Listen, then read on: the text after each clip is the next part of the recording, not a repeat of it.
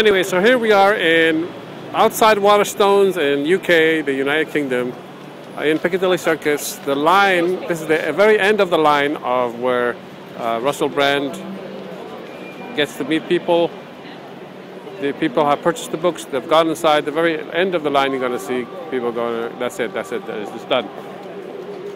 I got to the end of the line, I got the money out of the ATM. By the time I went inside, they said, to purchase the book, they said, "I'm sorry, this is um, uh, at the end of the line. You can't even if you purchase the book, you can't get into the line."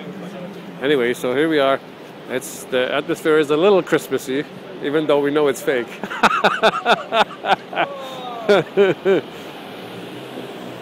In Piccadilly, and I tried to get the book, um, and just to meet him, just to give him my book. I was going to give Russell my book I was going to sneak in with my book and with his book and my book. And when I met him, I was going to offer him my book, of course for free, give it to him for him to check it out.